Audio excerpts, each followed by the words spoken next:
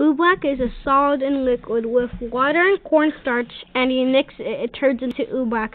And oobleck has chemicals that hold it together when you hold it. When you let it go, it turns into a liquid. It does this because cornstarch doesn't dissolve in water. Why doesn't cornstarch dissolve in water? Because cornstarch is not soluble in water. What does soluble mean?